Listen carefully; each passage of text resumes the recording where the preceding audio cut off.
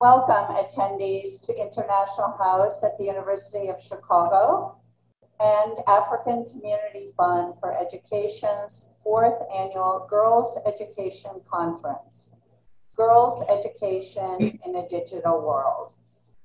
My name is Denise Jorgens, and I'm the Director of International House here at the University of Chicago.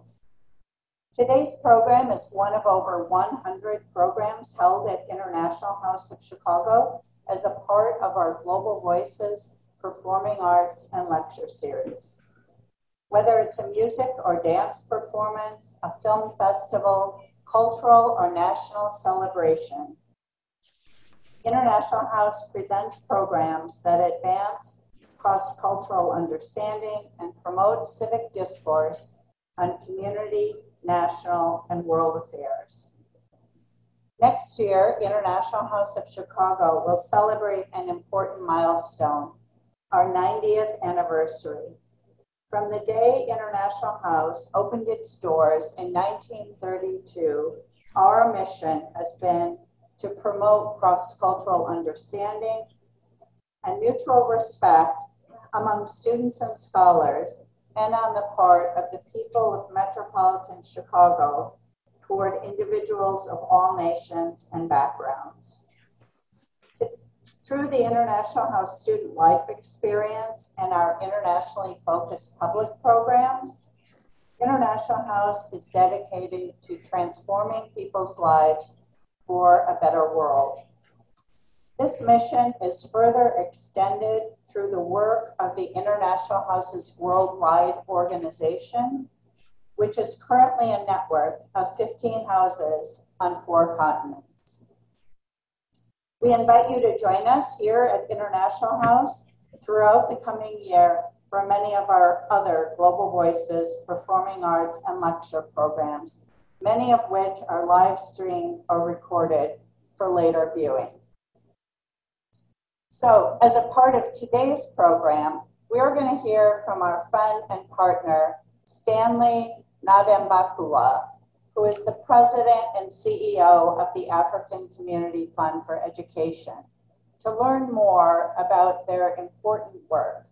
But first, let's take a look at what we'll experience during today's event. First, a keynote presentation by Esther Wojcicki, American educator and journalist at Global Moonshots in Education, on why empowering girls matters for the world. And this will be followed by an interactive audience Q&A. Following uh, this presentation, we will have a panel discussion featuring Marangawa Makamato, board chairperson ACFE Group, Organizational Transformation Architect and Strategy Consultant. Joined by Jen Clark, Executive Director, One Two World, Shelley Davis, President and CEO, Coleman Foundation, Amy Maglio, Executive Director, Women's Global Education Project, and Adrian Coleman, Director of Equity and Inclusion at the Illinois Math and Science Academy, IMSA. This panel will be moderated by Shelley Bromberek Lambert, Chief Reimagination Officer at YWCA Metropolitan Chicago.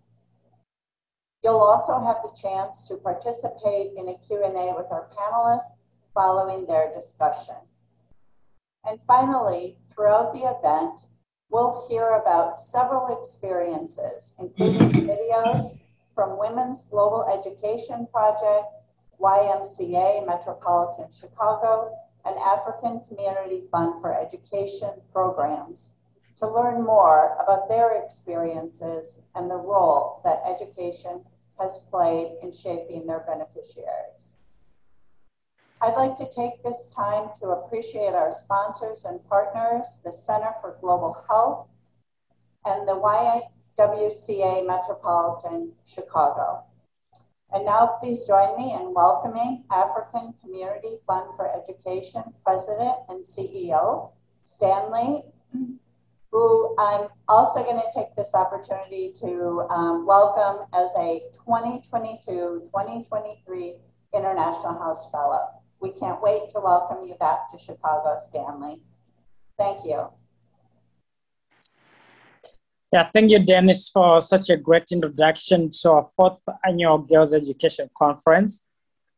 Um, over the past few years, we have seen how a genuine commitment to girls' education can yield results.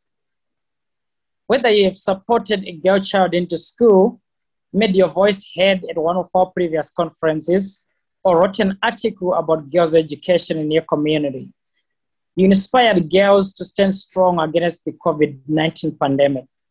Today, our conversation under the theme Girls' Education in a Digital World responds to our experiences with technology during the COVID 19 pandemic and how it enabled or prevented girls from learning. But we'll also share lessons learned and how our organizations led and supported the education of girls. The ACFE works to create opportunities of access to education for girls through our education leadership programs. That's why we continue to strengthen our partnerships with Chicago to change the lives of girls who cannot otherwise go to school if no one helps them. I would like to share a, a video with you from one of my friends, Emmy McLeod, and the Women's Global Education Project to highlight some of the challenges facing girls. Um, Jocelyn, you can play uh, a video from the Women's Global Education Project.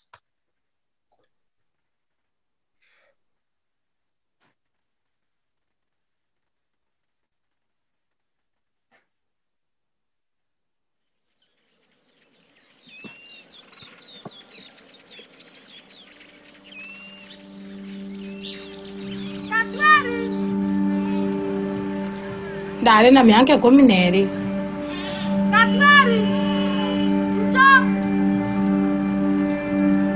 kera muntu naruthirevu cucu wakwa na achore bakwa bonthe.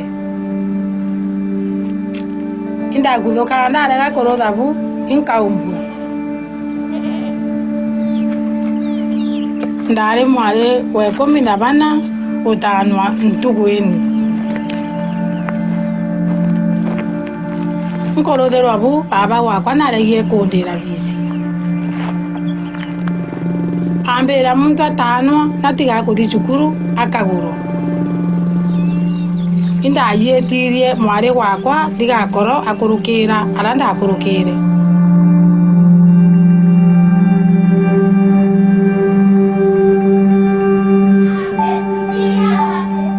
Kuri muntu ambirire kũrĩ na nyambura cia kũregana na ntano cia kĩrunya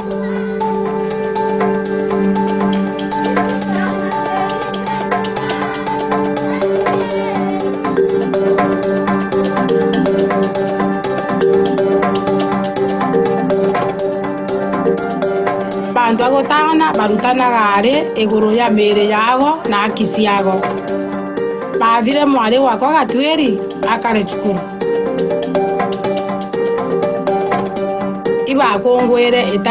Kugimara gwake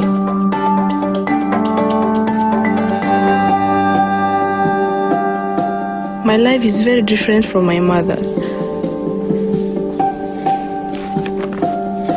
I am the first woman from our village to go to a university. If it was not my mom's courage, I would not be where I am today.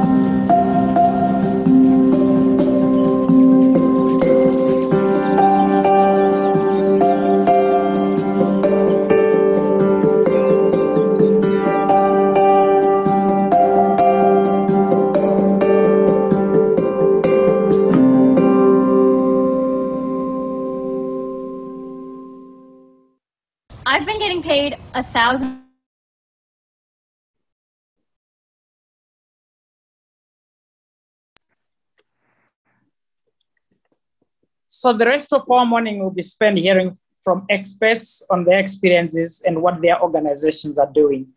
I'd like to bring up Shelley Bromberek Lambert of YWCA Metropolitan Chicago to introduce our keynote speaker. Thank you, Stanley. I have the pleasure of introducing Esther Wojcicki. She is going to talk to us this morning. She is an American educator and journalist.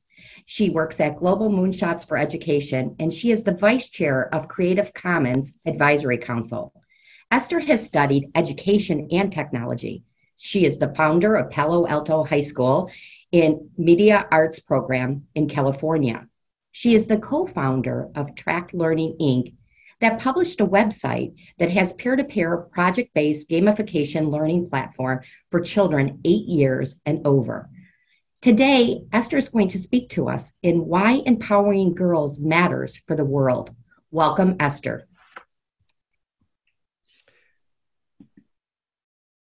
Thank you so much for including me. I'm very honored and happy to be here. And um, one of my passions in the world is improving girls' education. So I will show you my uh, presentation now, hopefully, um, and then we can get started the desktop. Here we go. So I'm going to be talking to you about why girls' education matters. And I'm telling you, it matters a lot. Um, and uh, let's see. Sorry, I'm going to have to reduce this a little bit. So here is um,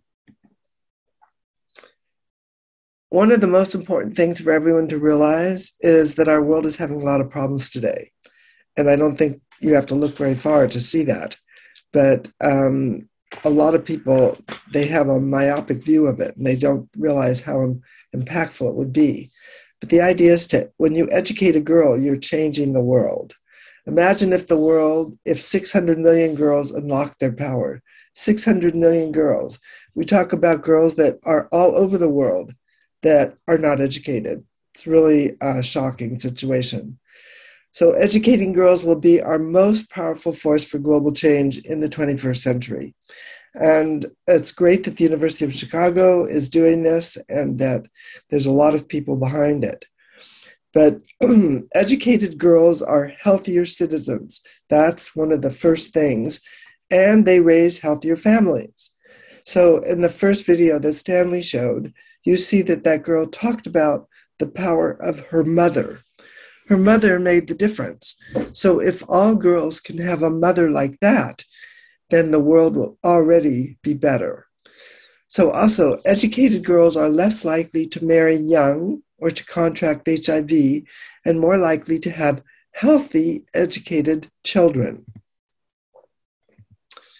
Right now, girls in the world's most vulnerable communities are not able to access quality education and distance learning opportunities, which is really a shame because they can access them all over the developed world why can't they access them all over the world? There's internet everywhere. Everybody's got a phone. So, unfortunately, the COVID pandemic is disproportionately affecting these girls and young women now and for years to come. The world wasn't working before 2020 and is definitely not working now. 25 years of progress made with vaccines have been lost in just 25 weeks due to COVID. 25 years of progress. Here's another one 47 million girls and women could lose access to contraceptives because of the pandemic. I mean, the world, the, pandemic is not just killing people, it's impacting those of us that are still here. So here's the situation billions of dollars have been invested in services for girls from health to education to entrepreneurship. These are services that they need, yet, millions of girls are still not using them even when they're free. This is the reason why. Girls do not see the services as being for them. They think they're made for someone else. From this about vaccines to only bad girls use phones, and the messages girls receive from society stand in the way. Every girl has an opinion about what girls should do. So this is a company that I'm working with, and it's called Girl Effect. What they do is they serve girls by listening to girls. This is a digital way for girls to be supported. They build a bridge. They connect girls on one side of the services that help them on the other side with partners. And they create content for girls that they seem to relate and love. So, Girl Effect is a group that I'm supporting. This is one solution, but there are many solutions. But this is a very effective solution, so I recommend it strongly. The solution is, of course, education access for all girls. Why? When you give all students some control of the learning, they are able to shape the future. And this Presidential Medal of uh, Freedom Award winner said the only way to predict the future is to have the power to shape it. So we need to give girls some opportunity to shape their future. When students have some control, they're engaged. So this I'm just drawing from my classes. I a teacher at Palo Alto High School. It's the largest media program in the United States. And I published this book in 2015, Moonshots in Education. And then I have a foundation called Global Moonshots in Education. In 2020, I published another book called How to Raise Successful People, published today in 27 languages. And what I'm trying to do is to raise successful people worldwide. And girls are, of course, number one in my uh, number one in changing the world. Just this is a very quick introduction to the course, to the book that I have. And this is the acronym that I developed. It's called TRICK. And it stands for Trust, respect, independence, collaboration, and kindness. So, my philosophy is trust your children, respect their ideas, give them more independence than they get right now, collaborate instead of dictating, and treat them with kindness. And this is the philosophy I use with my own children and in my classroom. And it worked. So today's information sources are all of these tablets, computers, and iPhones or regular or um, Android phones. And there are more phones in the world today than human beings. So everybody in the world probably has a phone. And independent learning empowers the learner. So when they feel like they can go online and find information that matters to them, they feel empowered. So what I'm trying to do is encourage teachers to give students some control of their learning. When they go to school, instead of just always telling them what to do, give them an opportunity to collaborate, get to give them an opportunity to work in groups, give them an opportunity to find some of this information that they that matters online. How about giving them 20% of the time? I realize that you know schools wherever they are in the world like to be very uh, top down, teacher controlled. But if we can just give students 20% of the time to work on projects they care about, you'll engage them. So, this is an example of, again, my class. And this is what happens in my class. It's a very different type of learning than you have in most schools. It's all student run.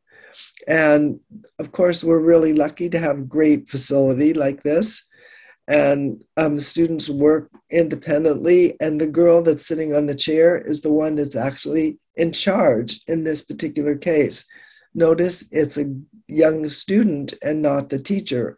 I oversee the whole program but i give students an opportunity to develop their own leadership skills. If you came into the class you would see them working like this in groups because that's where they do the learning when they work together in groups and not when they're lectured to. No one likes to sit there and listen to lectures for seven hours a day. Um, even if you know that that's unfortunately not learning that's listening and listening doesn't transfer to learning this is another picture of the kids working and this is as you can see the classes are very big it doesn't matter that they're big as long as they work in groups. So, this is the kind of work that the students produce. And this looks like it's produced by professionals, it's produced by students because these projects are projects that they own and they care about. And these are just more examples of the publications. These are 28 pages long. This is the front page of the publication. They have a website. This is the website. Um, this is more information about the website. Uh, the, they have magazines, several magazines. One of them is called the C Magazine. And this is more information about the C Magazine. Then there's another magazine called Verde. There's 10 magazines. So I'm only going to show you a few of them. This is the Verde website. But what this does is empowers the students. They go out in the world and say to themselves, I can do it. And they can. And um, this is a magazine on um, student on foreign affairs that the students run. And this is a photography magazine. This is uh, the website. This is we have television. And this is an example of a few of the graduates. These are people that achieved their dreams by doing what mattered to them. This is Jeremy Lin, who's a basketball player. Jonathan Yee, he's a filmmaker. This is Gady Epstein, he's the economist reporter for China. Liz Gannes, she's a senior editor for Recode. This is James Andrews, he's a um, social media. These are just a few of my students. There are thousands of them. this young man is the New York Times reporter in the Ukraine. This is James Franco, who was also my student and actor. And uh, we need to empower students with these 21st century skills so they can control their future. We need to give them the opportunity to work independently. So, what I have started in this pandemic is a program called Tract, where you give kids control of their learning. And it's the place for kids to be creative, and it's online, it's free, doesn't cost anything, can be used anywhere in the world. It's in English only. And all kids want to be creative, but they're afraid. So we are trying to help them be creative. They just have to log on. And the use are, are kids 8 to 13, and the creators are kids 13 to 25. So we have peer to peer creation. Actually, what we're doing is having older kids, 13 to 25, create learning for kids under that age. It's all project based, practical, that meets kids where they are. And we have a guide for students. They started, this is the creators, they begin, are beginners and the intermediates and advanced. And the idea is to support them. So we support them. We teach them how to make videos, we teach them how to talk about what matters to them, and then we help them publish their information. It's project based, and the CEO of the company is that young man at the bottom down there he's my former student. So he knows what it was that made tract important and project based learning important for him. So these are some of the examples activists, gamers, chefs, artists, musicians. These are all um, people that are involved, but you don't have to be a gamer or a chef or an artist. You can be just you, just a student wanting to share your information. This is what it looks like when you go on there. It's peer to peer. All of these are made by kids. They're all made by kids, like I said, 13 or some of them even 12 and above. Here's another example. So you can see they have track and field, psychology. There, there are thousands of these. I just randomly picked any for you just to take a look at. So, TRACT can empower all students. Um, they can learn to be creators, they learn leadership skills, they learn to collaborate with their peers.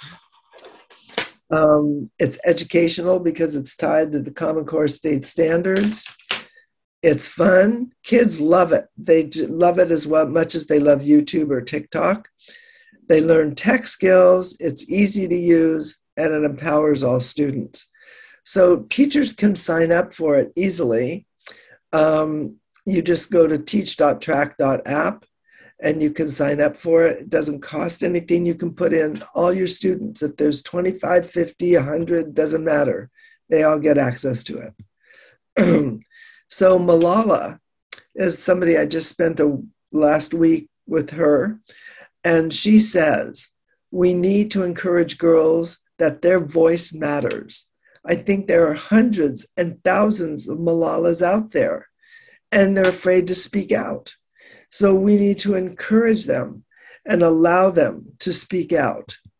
So the Malala Fund is working for a world where every girl can learn and lead. Malala.org.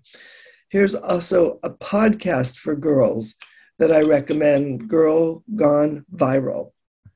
So thank you for your attention. If anyone needs more information, you could contact Emily at tract.app. So thank you very much.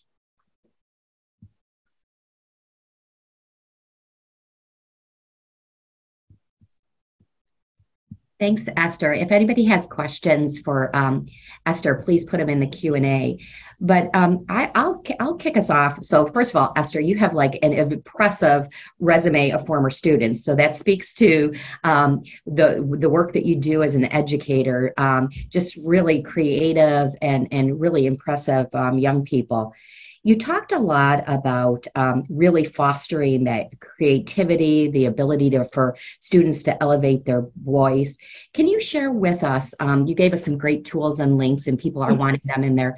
But how do you um, really make sure that you fight for the educational environment that you know is so important, that is led by students, that is hands on.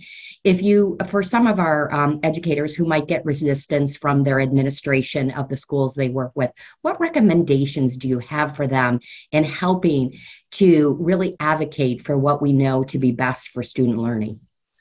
Well, that's a great question. And just so you know, I've been teaching for 40 years and it was a huge battle.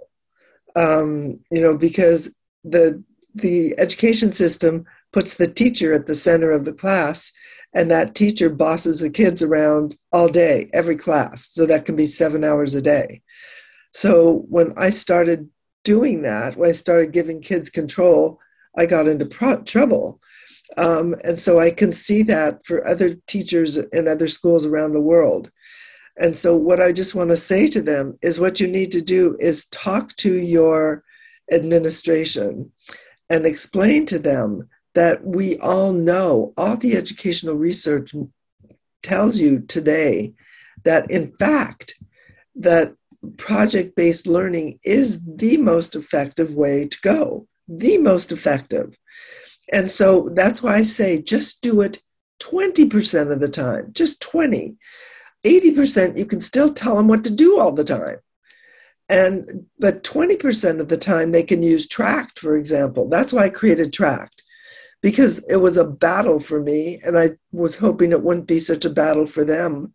So they can just say well i want to use this program in my schools or my classes and you know kids learn independently and they create their own learning and so that's really a good thing um, that's what I would advise because I know there will be resistance because they'll say, What are you doing telling those kids that they can, you know, speak or publish things that they think?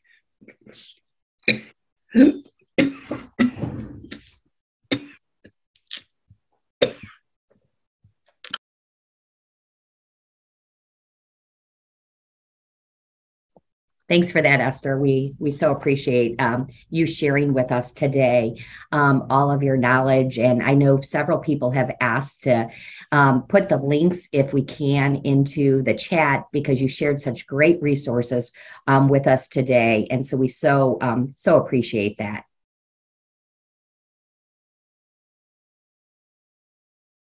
And I'll turn it back to Stanley.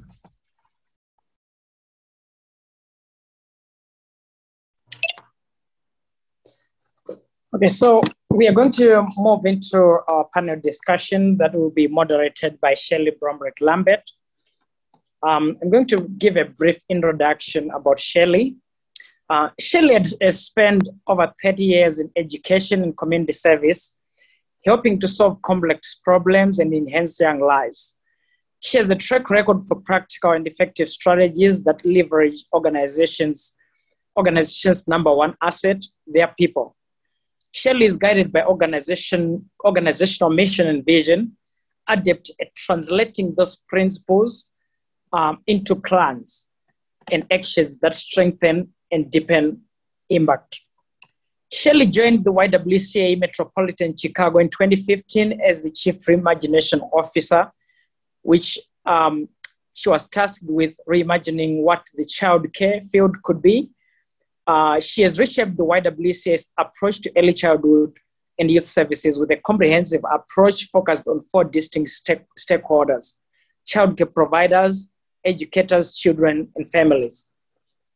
Under Shelley's leadership, the YWCA Metropolitan Chicago's Early Childhood and Youth Division grew from $2 million in 2015 to now um, at $25 million. Uh, that is in 2022. I'd like to introduce Shelley to take um, over from here and uh, lead the panel discussion. Thank you. Thanks, Stanley. And I have just a phenomenal um, panel of um, panelists today that I'm just very excited um, for and, and love uh, this part of our education conference every year. Uh, so I'm going to go ahead and introduce our panelists, and then we're going to get into um, asking some questions. And then if you have questions um, throughout the conversation, please put them in the Q and A, and we'll get to we'll try to save some time at the end to get to them. Our first panelist is um, Marunwa Makamoto, and she is the board chair for ACFE. She also is an organizational transformation architect and strategic consultant. She has her MBA, and she has over 20 years of solid experience both locally and internationally with blue chip corporate public sector um, organizations. She is a highly regarded expert on topics relating to the development of business strategies, as well as the implementation of change management, performance management, and effective human resource management strategies. So, welcome to our panel. Our next panelist is Jen Clark. She is the executive director of One To World. Jen has more than 20 years of experience in international affairs, education, fundraising, and a lifelong passion of promoting global economic justice and cross cultural understanding. From her experience as a volunteer in Zimbabwe to her work in communications, policy, and project management at the Canadian International Development Agency. Jen's career has re- required her to travel throughout the world, including managing projects on development in Zimbabwe and Ghana. She holds her bachelor's in journalism and a double major in political science. She has her master in geography. So, welcome to our panel, Jen. Our next panelist is Shelley Davis. She is the president and CEO of the Coleman Foundation. She has dedicated her career to the sectors of nonprofit and philanthropic um, giving and is a lifelong Chicago South Sider who grew up in South Shore neighborhood. In her early career, she was pro- she provided crisis intervention counseling and was a policy advocate. She began working in the philanthropic space during her graduate school at the University of Illinois, Chicago, with a fellowship with the Field Foundation. It was her work at the Ford Foundation and the Joyce Foundation that guided her development as a grant maker. And I love the way she describes it instilled in her a deep appreciation for the privilege and responsibility of moving resources to benefit communities welcome Shelley to our panel. And our next um, panelist is Amy Maglio. She is the executive director of Women's Global Education Project that was started in 2004. For the past 15 years, she's worked closely with grassroots community partners to educate, empower, and promote equality for women and girls in rural Senegal and Kenya. In 2010, Amy was invited to present their model as a best practice approach to girls' education at the United Nations Girls Education Initiative Conference. She was also the drafter of the UN Declaration of Gender Equality. Amy holds a master's degree from the School of International Service at the American University in DC. Welcome, Amy. And last but certainly not least is Dr. Adrienne Coleman. She is the Director of Equity and Inclusion at Illinois Mathematics and Science Academy, which is a residential high school for students who are gifted and talented in mathematics and science. In her role, she is responsible for assessing potential barriers and developing strategies focused on recruiting and retaining a diverse community, as well as implementation of their equity and excellence plan. She has been promoting diversity and equity and inclusion for multiple institutions, for educational institutions, social service organizations, law enforcement, and government organizations for 20 years. She's a researcher, and we're going to talk to her today about some of her research as well. Welcome, Adrienne. So I'm going to go ahead. If everybody wants to go ahead and put their cameras on, and we'll begin the we'll begin the panel. And um, I feel, as I said, so honored to be here with um, this amazing group of uh, women. So, Amy, I'm going to start with you. Can you just share with us to kick us off where your passion for education came from? Sure. Well, thanks, Shelley, for, for the introduction and, and for, to the Interna- International House for having me. Um, my passion for girls' education really came from my experience as a Peace Corps volunteer. Um, back in my 20s, a, a while ago now, um, much to my parents' dismay, I joined the Peace Corps and I was sent to Senegal, West Africa. Um, I lived in a, a, a, rural village in a mud hut um, with no running water, no electricity for almost three years. And I lived in a family compound. And the eldest daughter in that family had never gone to school before. Um, she was about nine when I got there and 11 when I was leaving Senegal. And I helped her go to school for the first time. And from that experience, you know, I saw firsthand uh, the impact that going to school could have on a girl's confidence and on her future um, I really thought that it was unfair. I, I, just saw so many girls that I knew personally uh, not going to school, uh, not able to pick up a book and read. But it wasn't just that, it was that they didn't seem to be able to make that choice on their own. Someone had decided that for them. Um, from what I could see, it made people feel left out, disregarded, worthless um, they were excluded and told that they couldn't uh, go to school or try, uh, even before they had this this chance. So it, didn't didn't seem very fair to me.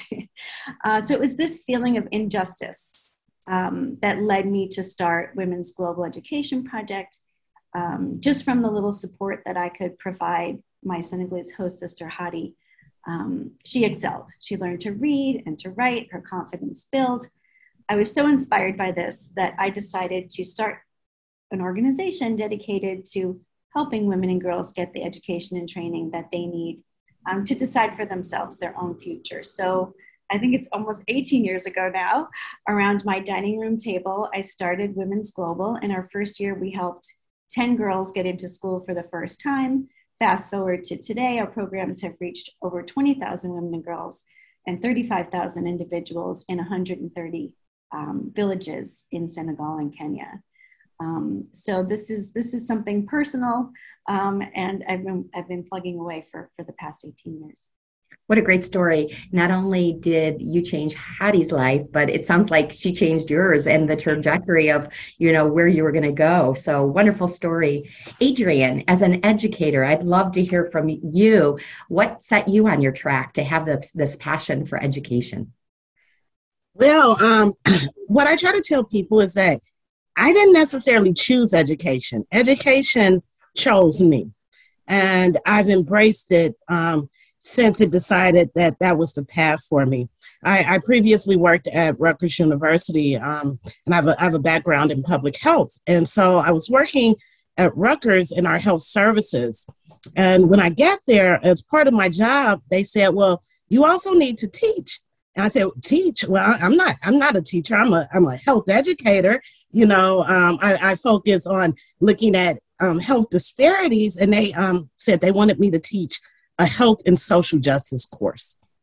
Well, that started my path not only in education, but also in diversity, equity, and inclusion. And the more I learned, um, I began to understand all of the inequities that lie within the educational system. And I wanted to change the narrative. I wanted to bring educational equity to everyone, um, especially for Black and Latino students. And so um, that began my path. You know, starting a job and them wanting me to teach this course and learning about inequities that exist. And now I work towards advancing educational equity every single day. Thanks for sharing that.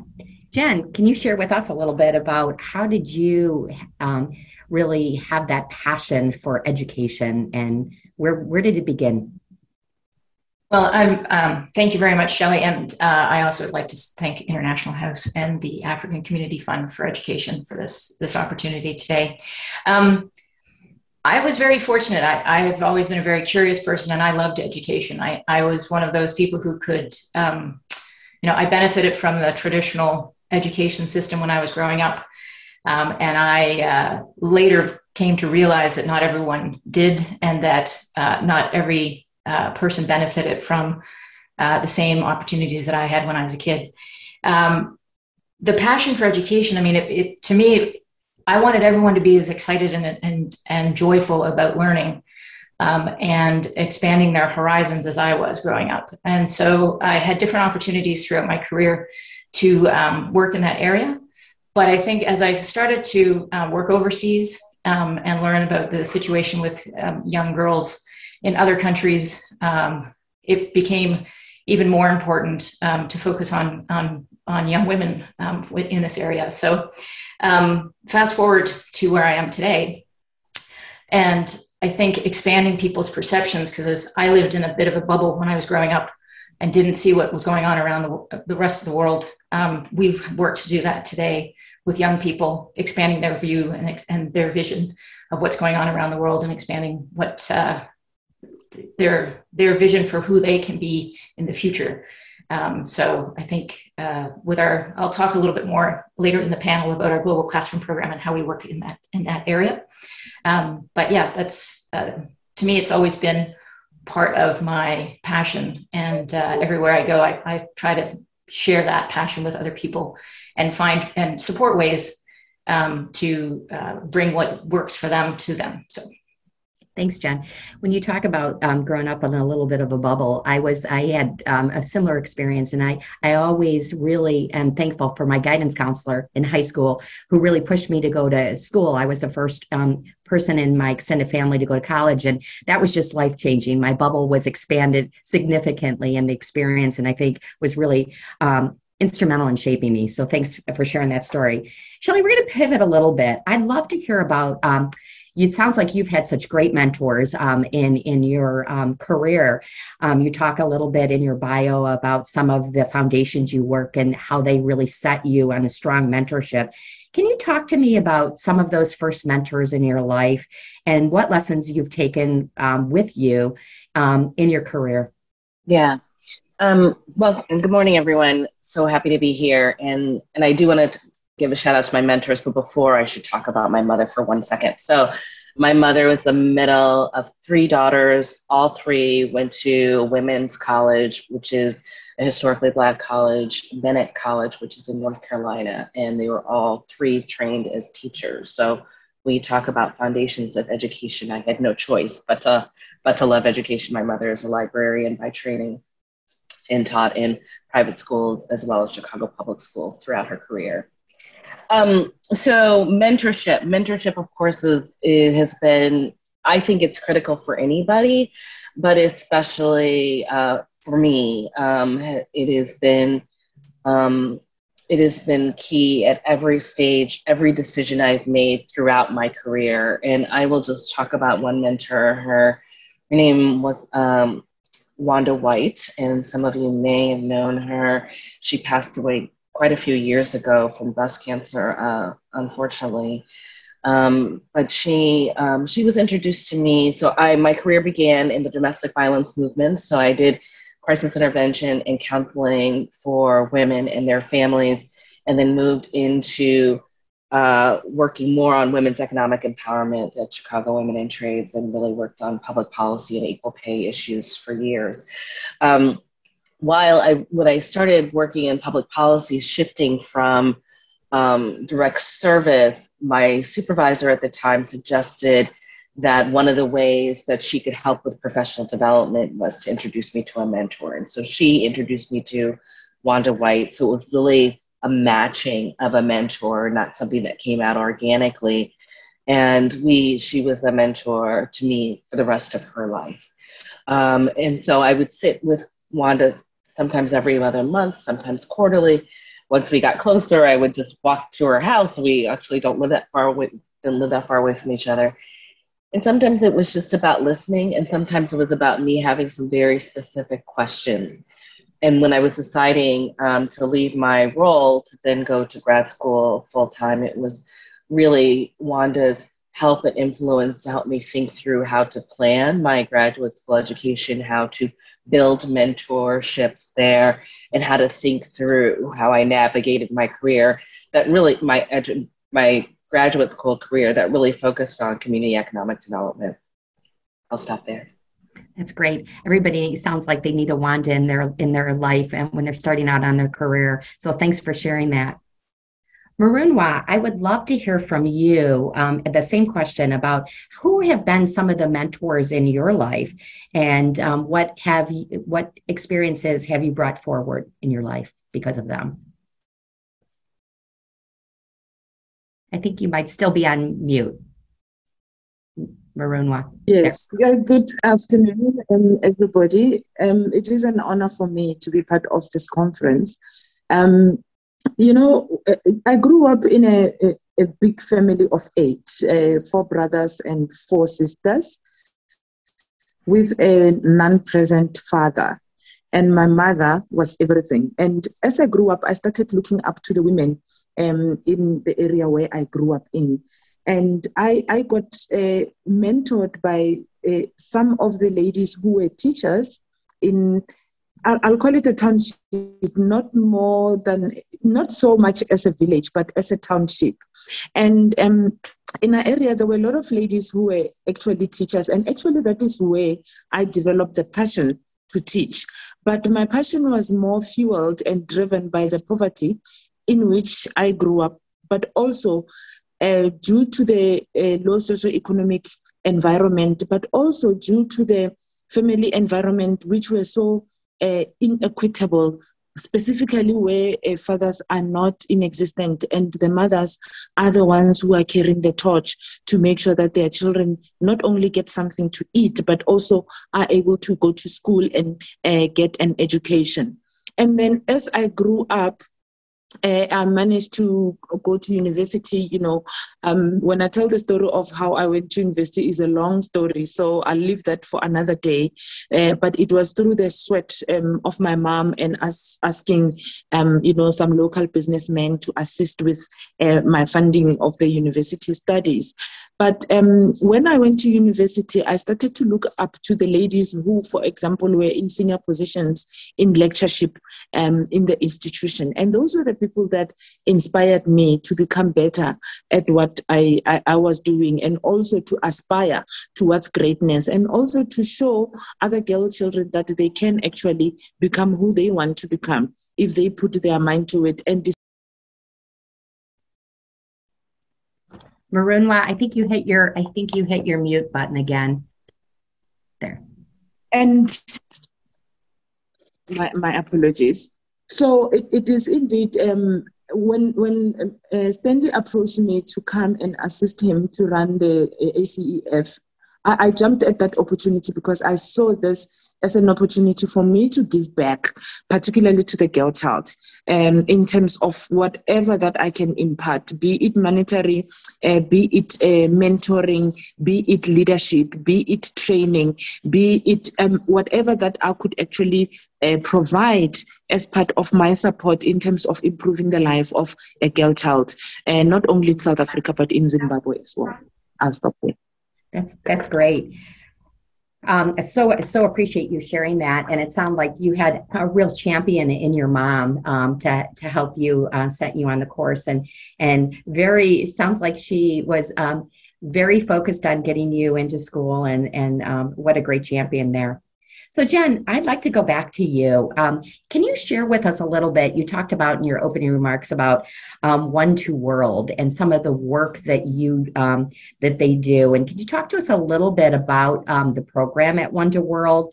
and how um, I, I'm, I'm interested in how you the program at one to world helps to create understanding and build that positive relationship um, between area residents and your students. I think that that's so powerful in today's area um, in world where there's, you know, some people are becoming more siloed and it going retreating to their bubbles. So I'd love to hear about your work, Jen. Sure. Thank you, Shelley. Um, I'll give you a kind of an overview of the organization, but I do want to speak specifically about one um, that pertains particularly to what we're talking about today. But one to World's been around for about 45 years, and we work to um, integrate and uh, and, and uh, engage international students that are studying in the area. So there's almost 100,000 international students that come to study in the New York tri-state area every year from all over the world. Um, about 120 to 140 countries are represented. They're here to study, but their education is just one piece of the puzzle. And so we bring them off their campuses and get them into the community. We get them to meet local residents, and Americans, um, and they have a much richer experience being able to share their own cultures with local residents, um, as well as the residents sharing the, um, th- their cultures with the visitors. Um, what this does is kind of break down some barriers, assumptions, biases, um, we found we've we have some terrific stories about um, even the international students amongst themselves having their barriers kind of broken down. Um, just recently, actually, we had an Indian scholar that was here studying music, uh, and he met a Pakistani uh, scholar, and he said that he had never actually sat down and had a meal with a Pakistani before, uh, and that he had been taught to actually hate them. And this, we had given them the opportunity to come together um, uh, with a face-to-face experience, and we find that this happens quite um, quite a lot. Um, our global classroom program is one of our flagship programs, and what we do is we we train the international students that are here. They volunteer their time to come into the classrooms in uh, New York City, K through 12, and we work with uh, um, the public schools here in the area. Most many of which are um, under resourced, and they come into the classrooms and share their stories, and so they share their cultures uh, we work around themes, and one of our important themes is girls and women's lives. And so these, these young women from all over the world come into the classroom and share what girls and women's lives are like in their home country. Uh, this touches on all kinds of different issues. Um, we've had um, conversations about um, the education, obviously, in the other countries, uh, some of the, the, the um, issues that they have, such as the female genital mutilation that was mentioned earlier in the program. Um, and it really kind of it's an opportunity for the girls to learn what um, others are doing around the world. It's also empowering for them and inspiring because they see these women who are traveling the world uh, and representing their countries, and they they kind of take on that kind of. Um, they're inspired by what they're seeing to maybe think about themselves in that place. Um, we also bring it back locally, though. So we're talking about global issues, but we bring it back to their community, and so they have an opportunity to look around to some of the issues that are that they face in their community um, and kind of bring attention to it. For example, we had a recent project where the girls were learning about um, homelessness. And so they wanted to do a campaign about the challenges of women in shelters in their community. And so they did a, um, a publicity com- campaign and they put up posters and they um, did some uh, fundraising and collected needs and supplies that women need in the shelters and are often short of. So they do, they, they learn about global issues, but they bring it back locally in their community. So it's, uh, um, we do, we put on over 100 programs every year uh, that have these, these opportunities to share and learn from each other. Uh, and uh, it's, it's a great, um, it, it, I feel terrific about doing it. And uh, I think there's, there's people who participate in our programs can't help but be changed by them. So Thanks for sharing that. Um, I think I, I was not um, familiar with to World until um, I met you on the panel, but I just am really um, impressed with the way the programming from, uh, you know, when I was doing some research, just the ability to meet when you put a name to a person and you put, they become a person. They're not in a group, they're not some character we might have of them. And I think that this is just powerful work um, with learning from one another. And I love the way you've structured it. So thanks for sharing that with, um, with everybody today. Um, Shelley, I'd like to talk a little bit um, about. Uh, I know that the Coleman Foundation um, focuses on supporting community based organizations. And I also know that one of the areas that you focus on is entrepreneurship. And we know that, um, uh, particularly around um, Black um, uh, and uh, women and women of color, and we know that um, um, Black women are one of the fastest growing um, segments of entrepreneurs. I think there was an article that said 17% are in the process of starting or running a business in comparison to 10% of their white counterparts the study and it was in harvard business review went on to say that the fact that there must be that they're the high um, black women make up the most entrepreneurs might be because they are exhausted both mentally and um, emotionally due to the fact that they often are asked to work 30 to 40 percent harder um, than their white male and female counterparts to get the same results in a corporate environment so I would love for you to comment on that and to share, you know, how can we and the and the individuals help be better supporters and, and advocates for Black entrepreneurs and entrepreneurs of colors and leaders within our own organizations? Yeah, thank you for that question. Um, so, just a little bit of context. So, the Coleman Foundation um, was started by Dorothy and Stetson Coleman, who lived in the northern suburbs here outside of Chicago. And um, they started the Fannie May Candy Company. For those of y'all that know Fannie May candy, I grew up eating Fannie May candy and, and also giving it to my teachers for Christmas. Um, and, uh, and really, it was a women owned business. So we, so our roots are in entrepreneurship. Uh, so Dorothy was the was the lead founder of that company, and so that's where our, that's where the origins of our corpus come from is through through that family wealth and then through the sale the ultimate sale of the business. So entrepreneurship is in coleman foundation's dna and roots. For many decades um, our focus was on seeding entrepreneurship in colleges and universities. So seeding the field of entrepreneurship education at the undergraduate, graduate, and postgraduate levels. And so there are Coleman Foundation um, academics that had postdoctorate education. There are also students in undergraduate universities scattered throughout the Midwest that have been able to learn about entrepreneurship studies in colleges and universities we've gotten to the point now where that that field is really ripe and mature and there are folks all over the country that that can access entrepreneurship education in a formalized sense again before the mba so colleges um, uh, undergrad and graduate studies.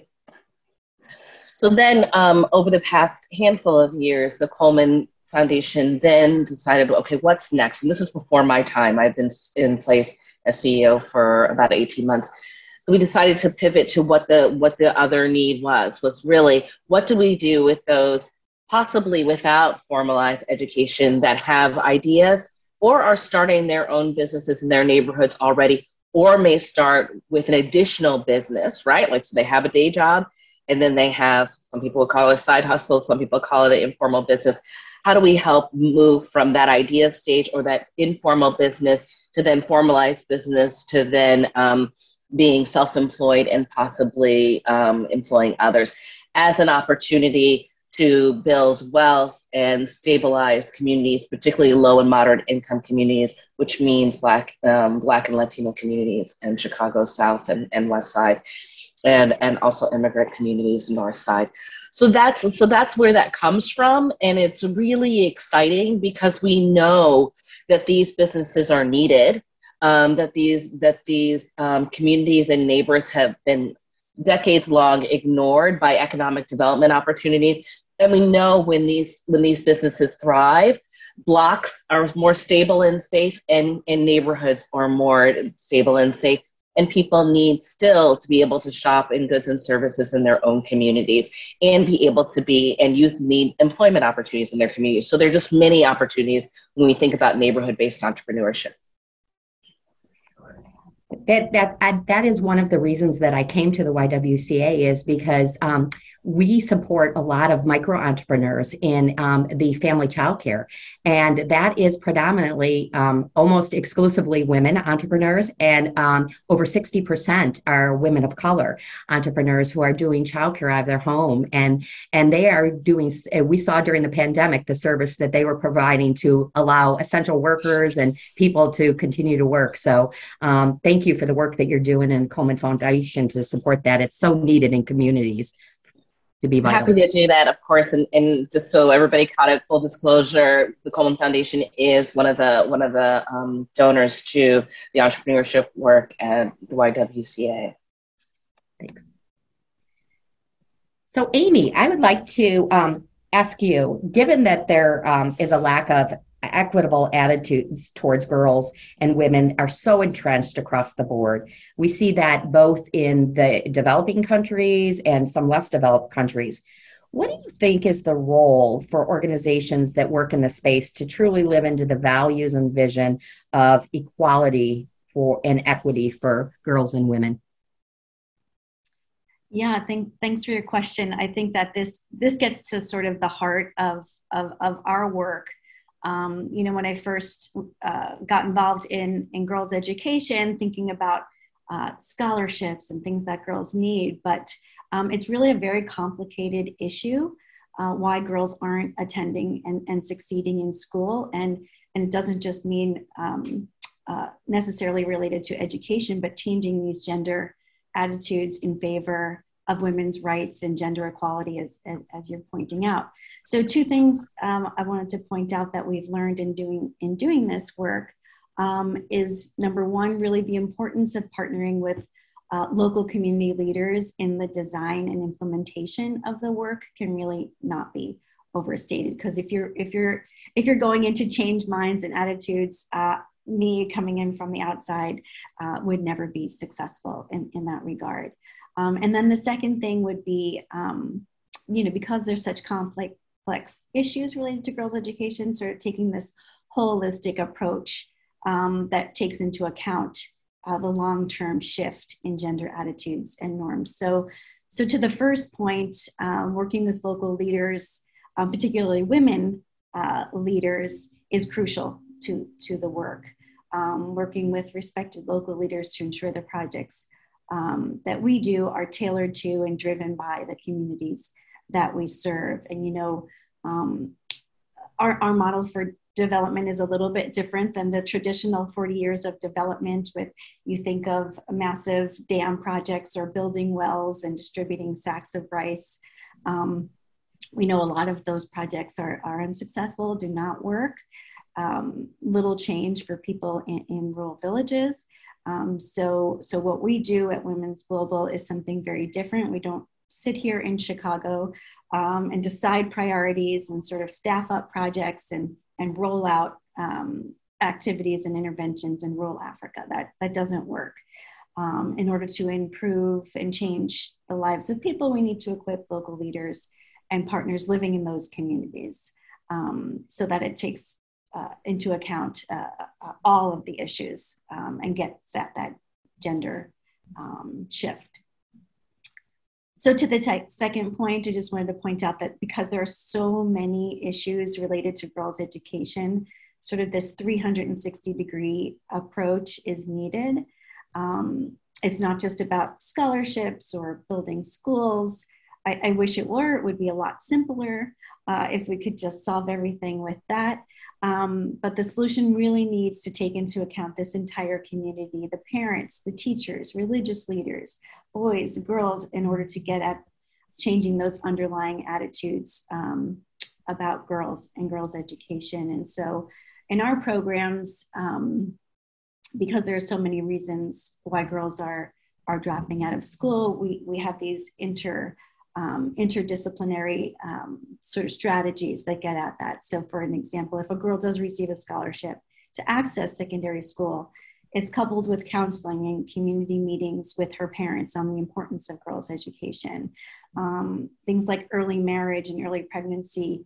We provide, of course, intensive workshops on reproductive health, um, gender based violence, and family planning.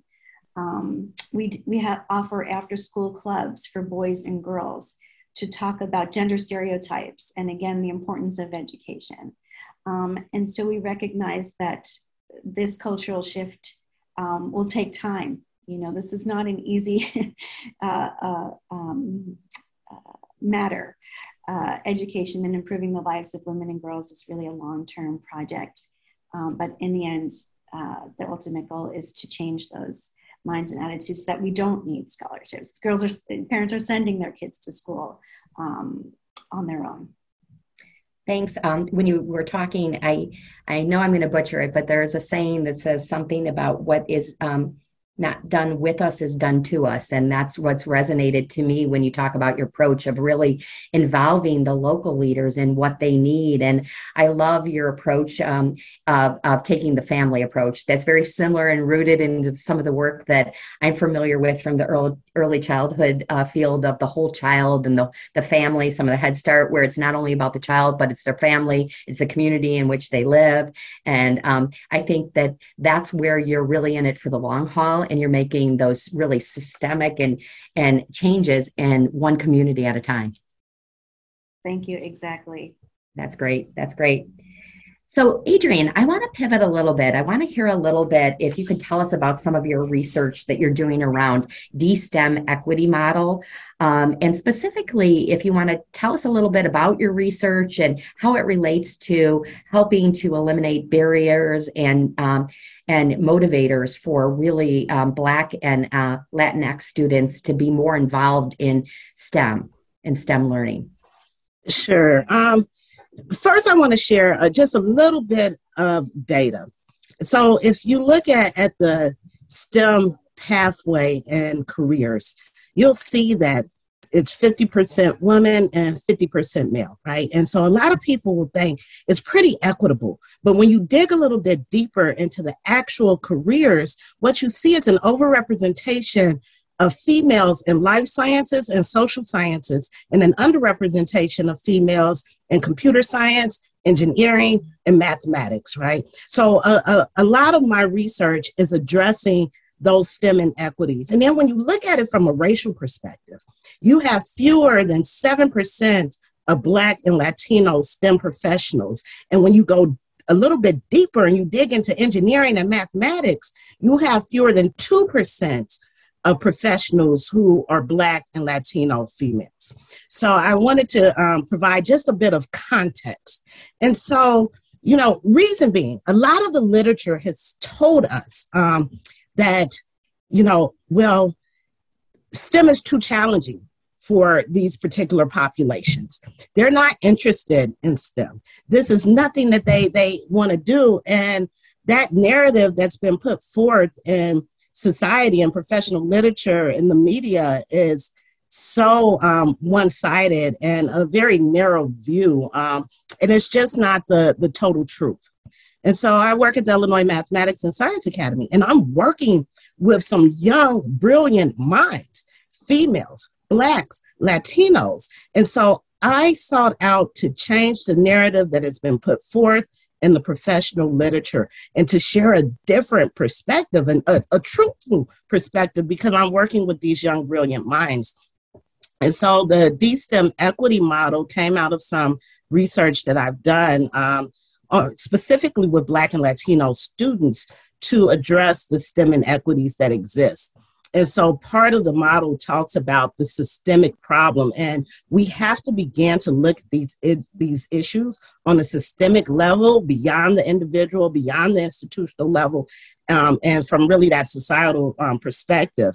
And so when you look at the systemic problem, you find that there's a vision gap you know, blacks and Latinos, females, they don't see those that look like themselves represented in STEM fields, and thus it's very difficult for them to develop a vision of going into STEM for themselves. There's definitely an opportunity gap where, you know, either due to, you know, racism or economic issues, um, you know, Blacks and Latinos don't necessarily have the opportunities to engage um, in STEM outside of the school day, right? So they are, they're not engaged in summer programs and after school programs. Then there's this cultural perception gap, which I talked about um, briefly, in which others do not think they are capable of engaging in such rigorous coursework. Um, next, you have the STEM education gap. And when you think about the, the, the, the funding in schools, um, it's not always equitable. Um, even though here in the state of Illinois, um, we are, we're, we have a formula now that's created more equity. But if you look at funding across the nation, there's an equitable funding based on socioeconomic status. And what we see is that students are not being introduced to laboratory science. Students are not being able to go through the entire um, high school sequence of mathematics, which prevents them from actually entering a STEM field or, or makes it a lot more difficult to enter a STEM field. Then there's this sort of generational gap in which parents, because they're not engaged in STEM, because they don't necessarily um, understand, you know, the, the STEM space, they're not able to assist their students in the STEM um, process, right? Um, and then the final sort of gap I'm going to talk about is the identification gap because we are not seeing the talent and potential in our girls, in our Black and Latino students because it shows up differently, right? And that leads me to kind of my next section where I'm going to talk a little bit about STEM motivation. First, we need um, early STEM exposure, and I'm talking about pre K. Then we need culturally responsive STEM pedagogy, right? And um, when, when you think about it in terms of through a female lens, what that potentially looks like, is use is the use of chemistry right, to develop skincare and hair care products.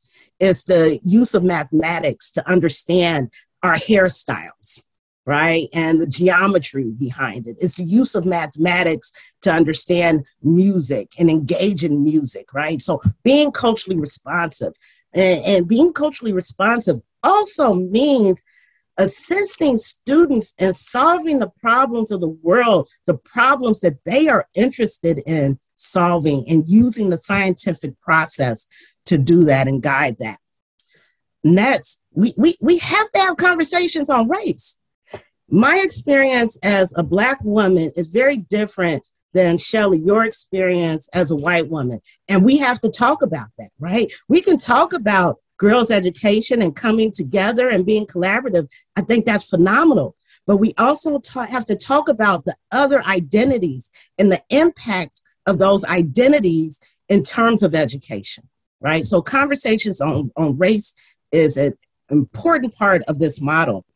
We need to have personalized assessments and evaluations, meaning educators, you need to know your students. You need to understand what motivates them, what drives them. You need to provide them with evaluations, right, that are actually developed personally for them. All everyone learns differently right? Some some students they're great at taking, you know, tests. Some students they're great at projects and oral presentations. So allow your students to be evaluated in the way that best fits them. So again, knowledge of students is very important. And finally, um, you have to have some STEM leadership development.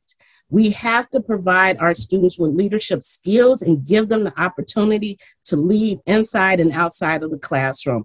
And I know I'm going a little bit long here, so I'm going to just close it out with if we truly want to bridge the racial STEM divide, we have to have policy that drives this. We have to have a village that is focused on this. And when I talk about that village, I'm talking about STEM educators, um, STEM professionals, community organizations, parents, everyone coming together and working on these students' behalf.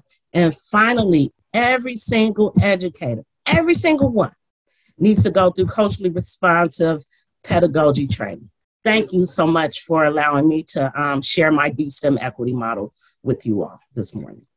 Thanks, Adrienne. I know we share a um, a mutual friend um, that um, has really she has been a mentor to me in how important that culturally competent curriculum is for STEM education. I've learned so much, and I know she's learned from you in that regard. Um, so she's definitely playing it forward because I, I see that when I go to some of the programs that we have at the Y, such as our TechGYRLS. I see when you can tap into what is relevant for those girls and and, and they're able to solve real world problems um, and um, it's just amazing and when you unleash that potential in them so thanks for the work you're doing and thanks for sharing that model. Thank you Marunwa, I would love to um, to circle back to you. I know that you are a motivational speaker, so you part of that as as being a motivational speaker, you really help girls unleash their dreams. So, what advice do you have for all of us who work with girls? Um, how do we set the stage to really help them fulfill their dreams and and and really support them? Thank you so much uh, for that question. Um, you know, my, my experience with girls, uh, particularly in South Africa and in Zimbabwe, having uh, done a site visit in 2020, is that there is a lot of lost hope.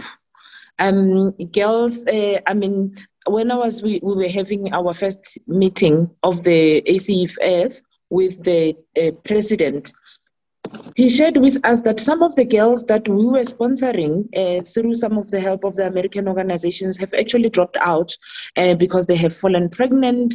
And um, and and it's because they see marriage as their only hope towards them achieving life and and if you look at the poverty that surrounds them it, it only makes sense.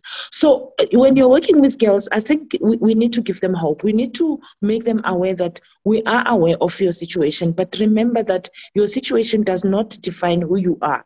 Your situation does not define the type of person that you can become. You can in fact rise above the challenges that you are experiencing right now as a girl child and become a leader. And one of the things that we can use is examples of um, many great women leaders, uh, for example, Michelle Obama, for example, Oprah Winfrey, whom I have referred to uh, in my first book, uh, When Is Enough Enough 10 Things An Aspiring Entrepreneur Needs to Know to Start and Run a Successful Business. Um, Winnie Madikizela Mandela from South Africa, Margaret Thatcher.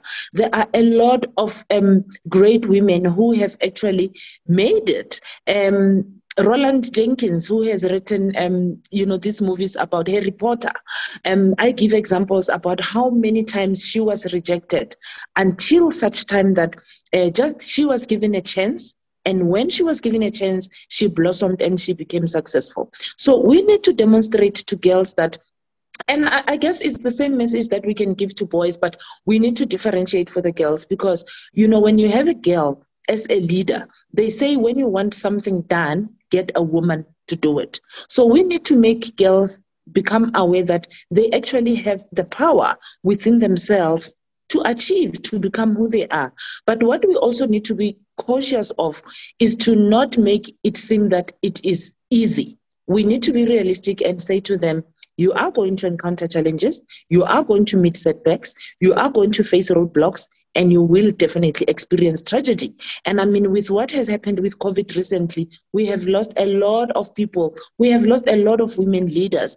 And that obviously impacts on every girl's child in terms of when they look in their village, when they look in their township, and they see that they have lost so many people whom they were looking upon it makes them lose hope. So we must not uh, beat about the bush and make it seem that it's easy and that they're not going to experience challenges. Definitely, they are going to experience challenges, and we need to be realistic, but we need to give them hope because it is doable if you believe it.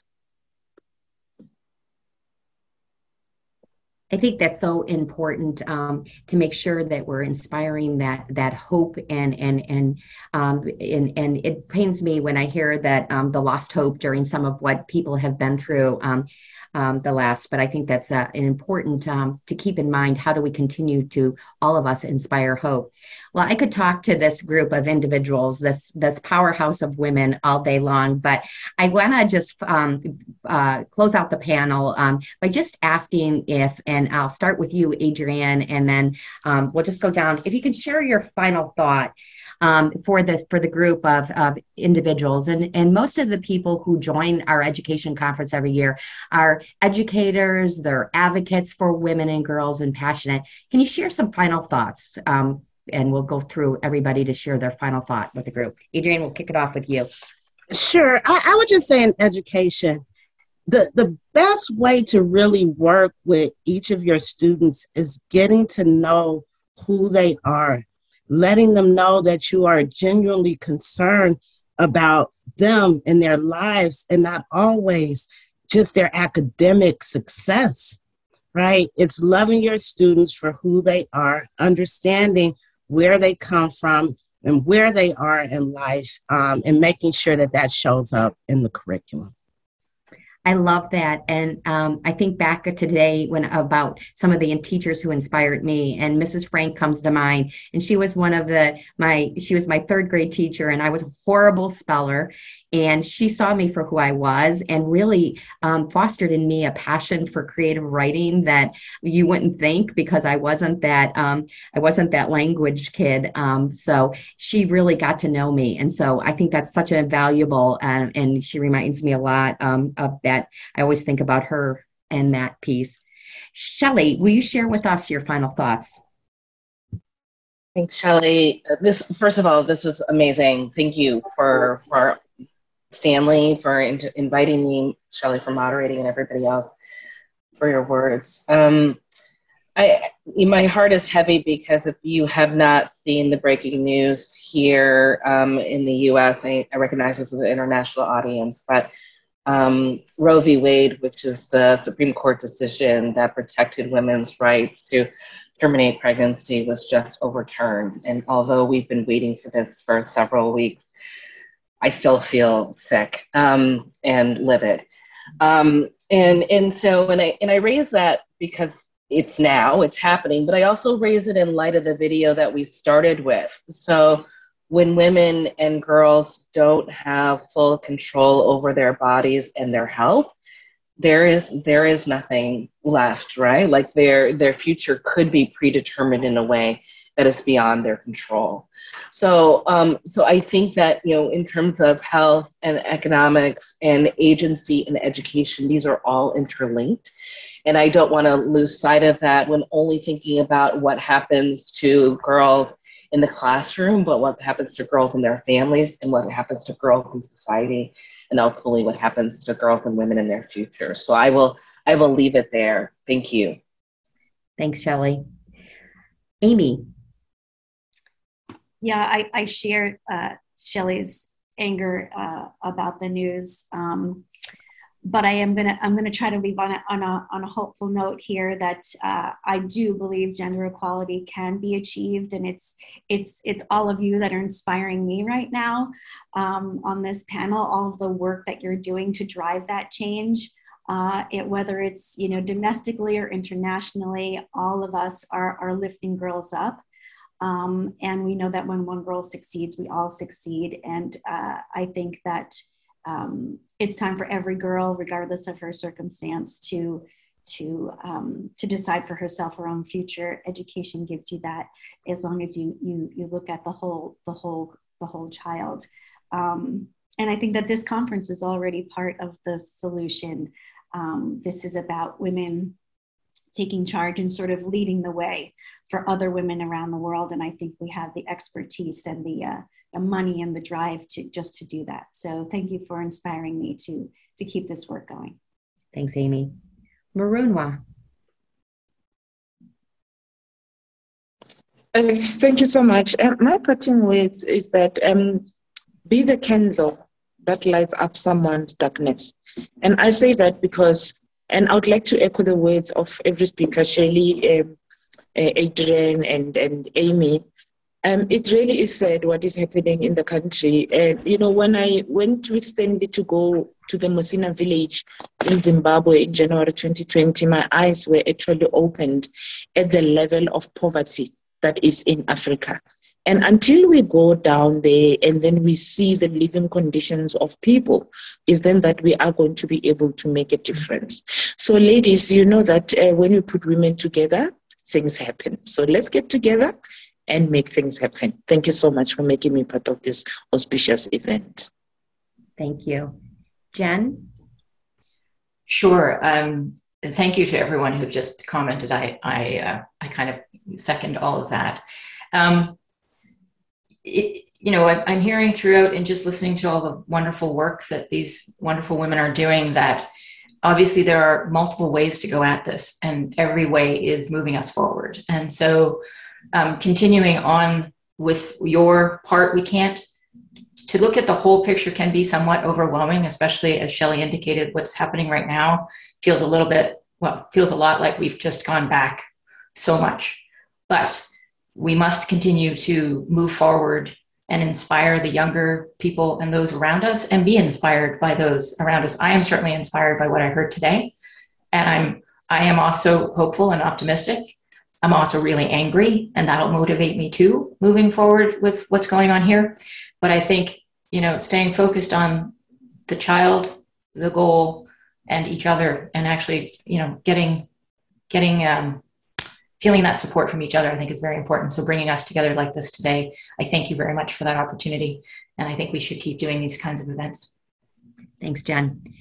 I just want to echo, um, uh, like everybody else, I, I am angry. I am sad. I uh, was telling our panelists before that this past Saturday I became a grandma, and it is unfathomable to me that she will grow up in a world that has less reproductive rights than her mother and I had.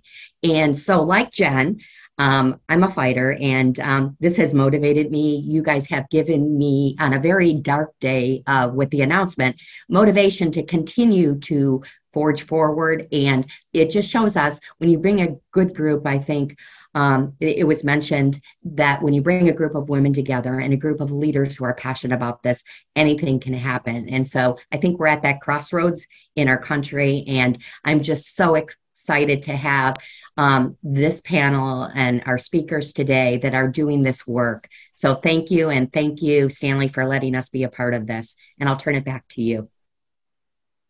Uh, so we're just going to play our last video and then we'll give the final remarks. Uh, Jocelyn.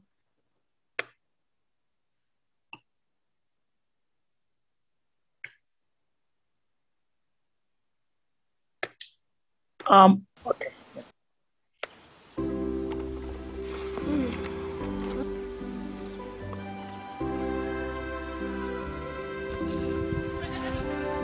My name is Ndakaziva Murauba. I am one of the beneficiaries of a CFE program in Zimbabwe. I am so happy that I passed my O levels and uh, I hope to move on and uh, get a job for my children and to look after my family and my children. Uh, I am a married woman with three kids. Without school, life was not easy for me. Uh, I worked so hard to feed my children and look after the family, but the life was not easy without school. In Zimbabwe, life without school is not easy. So I trying to make ends meet, and I toil from morning to eve trying to make ends meet, but life was not easy. Luckily and lastly, I find uh, help from the ACFE, which gives me scholarship, stationery, books, and uniforms that gave me a hope for the future and I passed my O levels. Feeding program was so important for us as we come very far with empty stomachs to school. Stationery and the school shoes and uniforms was so very important because it gives us confidence and the shoes are so important as we come very far. We walk long distances. Now that I have passed my O levels, I wish to go to Polytechnical College and do electrical engineering and got a professional job and earn a living and look after my children and my family.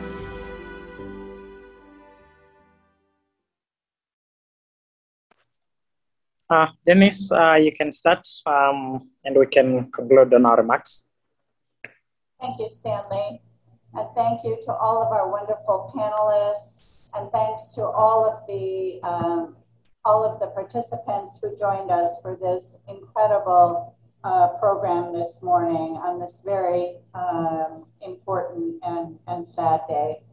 Um, I also want to just congratulate you, Stanley, on uh, the fourth annual Girls Education uh, Conference. It's been a pleasure to work with you throughout these uh, past four years. And uh, congratulations on all the work that the African Community Fund for Education uh, undertakes. And again, we look forward to welcoming you back to Chicago as an International House graduate fellow here at the International House at the University of Chicago. Thank you, Stanley. Uh, thank you, Dennis, and uh, thank you to the YWCA, to the CGH for your partnership, um, and to Shelley for always being the best moderator for our panel conversations, and for all the speakers who uh, contributed to the, today's event. Um, so I really thank you for your participation in our fourth annual education, Girls Education Conference. Uh, we encourage you to visit our websites at www.acfegroup.org and at ihouse.uchicago.edu, and you can find ways in which you can get involved. Thank you and see you again next time.